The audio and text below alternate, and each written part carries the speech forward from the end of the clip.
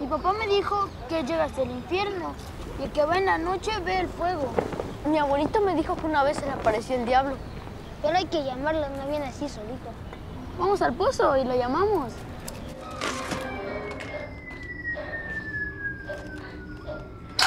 Ni le camines por ahí, rata. Esa madre traga niños.